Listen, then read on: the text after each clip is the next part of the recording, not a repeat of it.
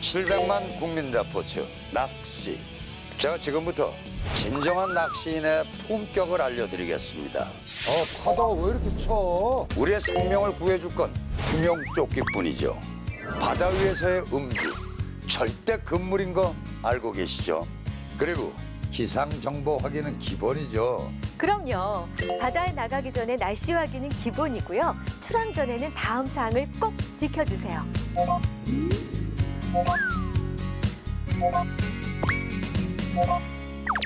낚시 안전수칙 실천으로 품격 있게 부탁해요.